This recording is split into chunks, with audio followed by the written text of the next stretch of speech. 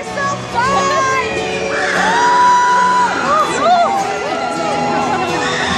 I was younger, I saw my daddy cry and curse at the wind.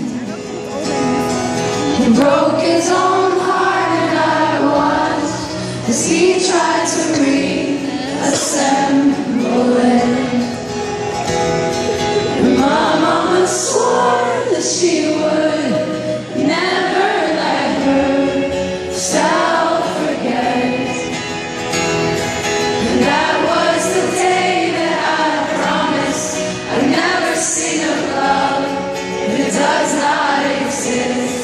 Darling, you are the only exception.